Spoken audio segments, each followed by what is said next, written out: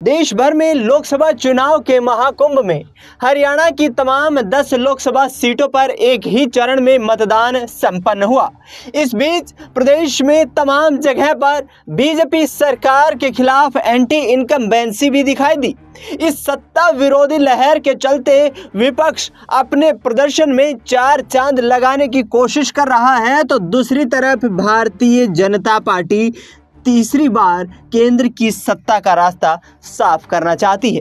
लेकिन इस बीच आपको बता दें कि हरियाणा में नायब सिंह सैनी के पास सरकार चलाने के लिए विपक्ष आरोप लगाता नज़र आ रहा है कि तमाम जो विधायकों की आवश्यकता है, उससे कम विधायक उनके पास मौजूद हैं और नैतिकता के आधार पर नायब सिंह सैनी को मुख्यमंत्री पद से इस्तीफा दे देना चाहिए।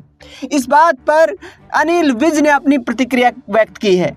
भूपेंद्र सिंह हुड्डा से लेकर दुष्यंत चौटाला और नायब सिंह सैनी से लेकर प्रधानमंत्री नरेंद्र मोदी तक क्या कुछ कहते नज़र आए? अनिल विज, सुनिए जरा।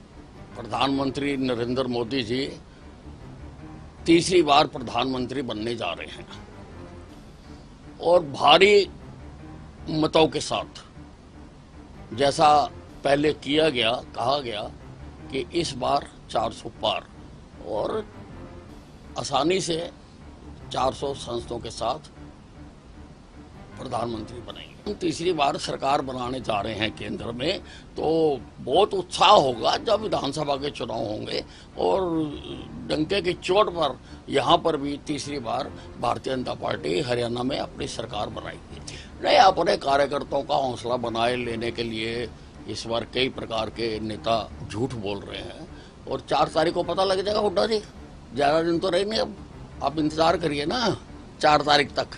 चार तारीख को कहाँ तो सुना अपने अनिल विज को, जो साफ़ तौर पर ये कहते नज़र आ रहे हैं कि एक बार फिर से देश में नरेंद्र मोदी प्रधानमंत्री बनने वाले हैं और भारतीय जनता पार्टी मजबूती से चुनाव लड़ रही है। हरियाणा में भूपेंद्र सिंह हुड्डा की मंशा कामयाब नहीं होगी और ऐसे में हरियाणा में विधानसभा चुनाव में भी भारतीय जनता पार्टी जीत दर्ज करेगी। लेकिन देखना ये होगा कि आखिरकार इस एंटी इनकम्बेंसी का किस तरीके से भाजपा तोड़ निकाल पाती है। फ़िलहाल इस खबर में इतना ही।